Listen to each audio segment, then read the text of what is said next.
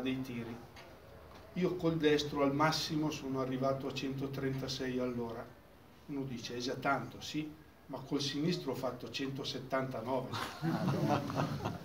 Anche perché questo? Per quale motivo? Perché questo allenatore una mattina mi fa, Paolo qual è il tuo piede? E gli dico, il destro, è quattro mesi che mi alleni. E lui dice, è il piede più forte. Il destro viene normale. Chi è che dice? Lui mi fa, bugiardo.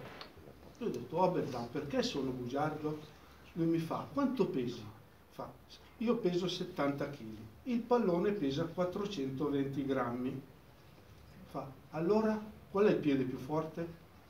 Quando salti di testa, qual è il piede che ti spinge in alto?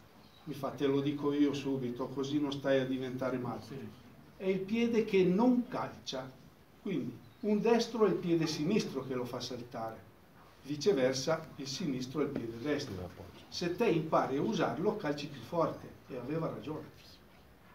Io devo dire, grazie a quell'uomo, logico, certe cose da fermo, i rigori, certi tipi di punizione, preferivo il destro che era il mio piede naturale, però con la palla in movimento preferivo il sinistro perché è più potente, più imprevedibile il tiro per, per il portiere fa. Quindi mi ha permesso di ottenere, di fare tutti quei gol che ho fatto grazie anche a questo insegnamento.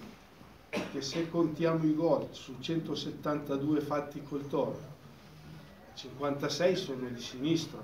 Se non imparavo a usarlo, non li facevo. È un po' come l'insegnamento che faccio con i bimbi.